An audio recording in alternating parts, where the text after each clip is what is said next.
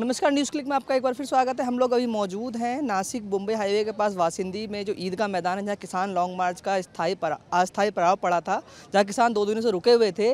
और कल सरकार रात में जिस तरीके से इनकी सभी मांगों को पूरी तरह से मान लिया है, उसके बाद आज इन किसानों ने अपना आंदोलन स्थगित करने का ऐलान किया है। इनका कहना है, सरकार ने इसका अधिकतर मांगे मान ली हैं और इस सरकार ने इसका ज़मीन पे इम्प्लीमेंटेशन भी शुरू कर दिया है। इसीलिए ये लोग अपना आंदोलन स्थगित कर रहे हैं और ये यहाँ से अपने घरों की तरफ़ जाएँगी। तो इस किसान आंदोलन में जो नेता थे, जो किसान मजदूर दोनों नेताओं थे, उनसे बात करके समझने का कोशिश किया, ये मांगे क्या थी और किस पे सरकार का रवैया कैसा रहा है और आगे का रास्ता आगे इन्होंने क्या निर्णय लिया है? गवर्नमेंट ने लिया हुआ फैसला। हाँ मोर्चे करे के बा, बारे में बाजू में था। बहुत सारे मांगे। उसने सकारात्मक मानी है। और वो अमल बजाने के लिए उधर अपना प्रशासन को काम काम पे लगा दिया है। और उसका संदेश हमें आया है इसलिए हमने आंदोलन स्थगित करके हम वापस चल रहे हैं। हम लोग लगातार आज का छठवा दिन है। हम दिंडोरी से लेके शाहपुर वसित गाँव तक हम लोग चल कर आए। यहाँ पर हमारा लॉन्ग मार्च का कल नाइट को हमारा यहाँ पे मुक्कम था। और आज हमारी एक सभाएँ हुई। इस सभा के अंदर हमारा किसान लॉन्ग मार्च का जो प्रतिनिधिमंडल था, उन्होंने जो हमारी मांग रखी थी विधिमंडल के अंदर, जो चार बजे कल विधिमंडल का काम का चालू हुआ, परसों चालू हुआ दो तीन दिन लगातार विधिमंडल में हमारा प्रतिनिधिमंडल के साथ बातचीत हुआ। जो हमारी मांगे थी, वो लगभग सत्तर टक्का हमारी मांग सरकार ने मान ली है, उस पर इम्प्लीमेंट हुआ है।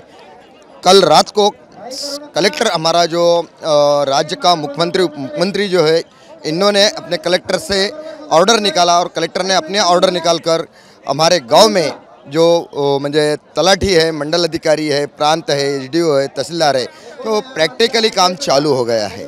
तो हमारा प्रैक्टिकली काम चालू हो गया, इसलिए हमने ए लॉन्ग मार्च यहाँ रोक दिया है। अब हम हमारे गाँव पे वापस जा रहे हैं। इस जीत की इस जीत की क्या संदेश है? जो कि एक बहुत बड़ा जीत है जिसमें किसान ने सारी मांगे सरकार ने मानी है और उसके बाद आप लोग वापस जा रहे हैं और इम्प्लीमेंटेशन तक शुरू हो गए बता रहे हैं। इसका क्या संदेश है आगे के आंदोलनों के लिए? हाँ हम जो हमारी जो मांगे थी तो हमारी प्रमुख मांगे थी चौदह मांगे थी। उसके अंदर हमारी पहली मांग थी कि जो किसान अपना प्याज बोता है वो किसान को दो हज़ार रुपये क्विंटल से दर मिलना चाहिए। वो किसान को छः सौ रुपया अनुदान मिलना चाहिए, किसान बच जाए। और भी कोई फ़सल है, जैसे कपास है, सोयाबीन है, और दूध है, अंडी है, पनीर है, इन किसानों को इसका मुआवजा अच्छी तरह मिलना चाहिए भी हमारी मांग थी। इसी के साथ हम लोगों ने दूसरी जो मांग थी, हमारी डिमांड थी, वो डिमांड थी हमारी जो फॉरेस्ट एक्ट के अनुसार जो किसान अपनी खेती बोता है, वो किसान की खेती चार हेक्टर तक उसके नाम पर होनी चाहिए, वो भी हमारी मांग गवर्नमेंट ने मान ली है। तीसरी हमारी जो मांग थी कि अपंग, निराधार, विधवा अप्रत्यक्त जो महिलाएँ हैं, इनका जो मानधन है वो बढ़ना चाहिए। जो विधवा महिला है इसका 40 साल से ऊपर जाने के बाद वो पगार बंद हो जाता था, वो अभी चालू रहेगा, ये हमारी मांग मान ली है। इसी के साथ हमारा आशा वर्कर्स है, आंगनवाड़ी है, इनकी भी हमने मांग रखी है। रेशन कार्ड की हमारी मांग है।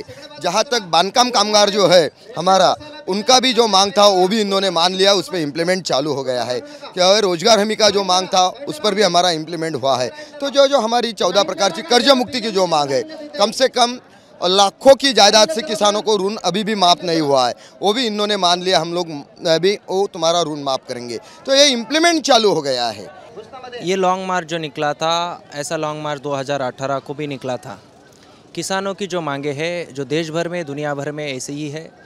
अर्बन पीपल का, किसी भी गवर्नमेंट का ध्यान किसानों की तरफ़ नहीं जाता, वो गाँव में रहते हैं। इसीलिए ऐसे मोर्चे करने पड़ते हैं। पिछले 20-25 सालों से किसानों की तरफ़ किसी का ध्यान नहीं था। जब 2018 में किसानों ने लॉन्ग मार्च निकाला, तब उससे प्रेरणा लेकर दिल्ली का आंदोलन बड़ा जो हुआ, जो तीनों काले कृषि कायदे हैं, वो वापस लेने पड़े।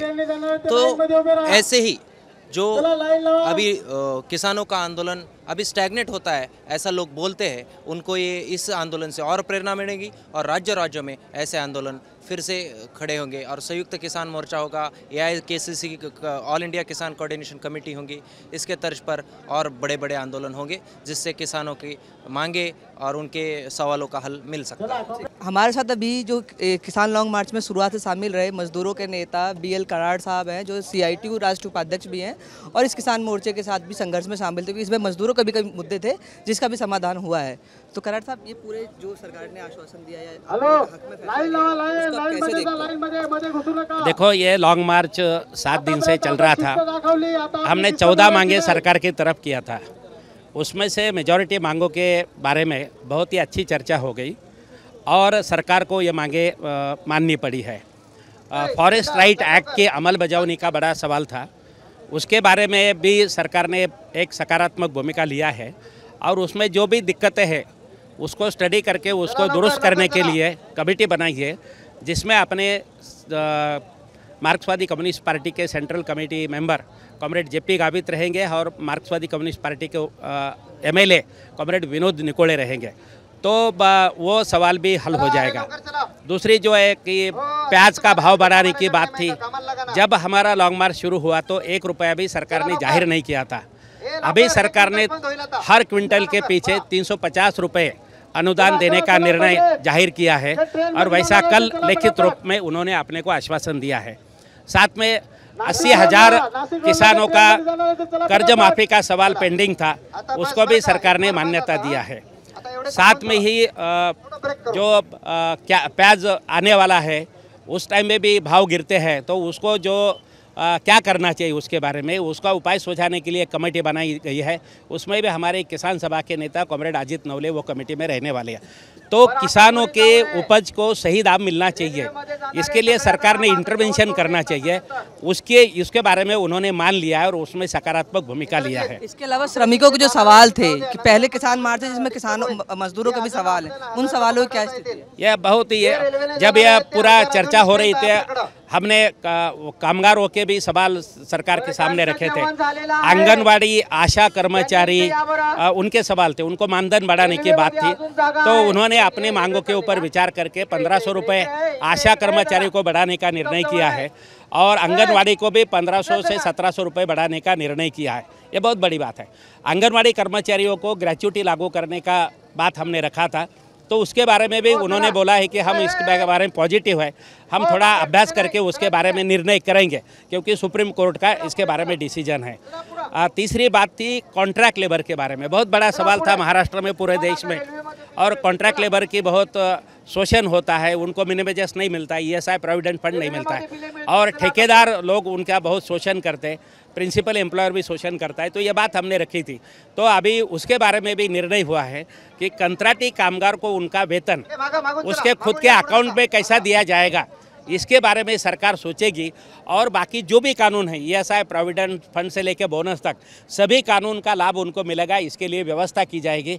ऐसा भी लिखित रूप में आश्वासन अभी इस मोर्चे के बाद मिला है। तो कामगारों के कुछ सवालों जो हमने उनके सामने रखा था, वो रखा है। साथ में ही सरकारी कर्मचारियों को पुरानी पेंशन योजना लागू करने के बात है। हमने उनको बोला था कि आप डिक्लेयर करो मगर उन्होंने नहीं माना है। मगर उन्होंने ये बोला है कि तीन महीने के अंदर हम इसका अभ्यास करने के लिए एक समिति रखा है और हम इसमें सकारात्मक है। तो जो भी किसानों की चौदह और कामगारों की जो चौदह मांगे थी हर एक मांग के बारे में आगे हम आए हैं और इसका अमल करने के लिए यह लॉन्ग मार्च ने उनको बाध्य किया है।